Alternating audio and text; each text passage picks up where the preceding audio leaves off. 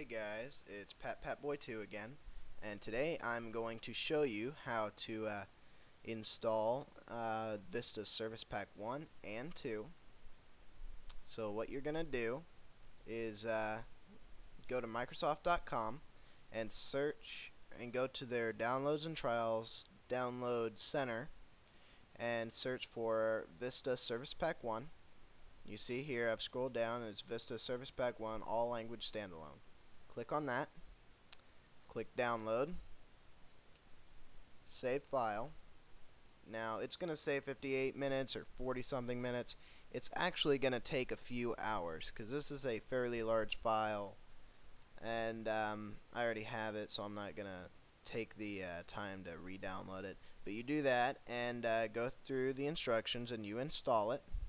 And then once you've done that, you can go to uh, their download center again and search for Vista Service Pack 2.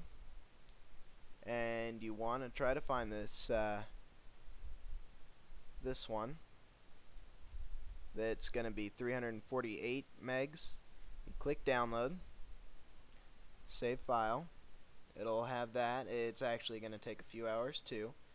And then you uh, install it but you have to make sure that you have installed Vista Service Pack 1 first. It does not work if you install only Service Pack 2.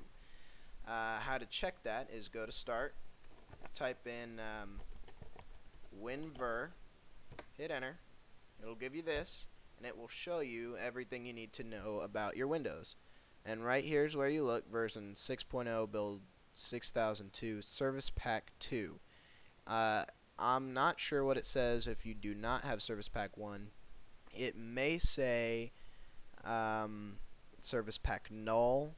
My computer came with Service Pack 1, so I'm not really sure what that is.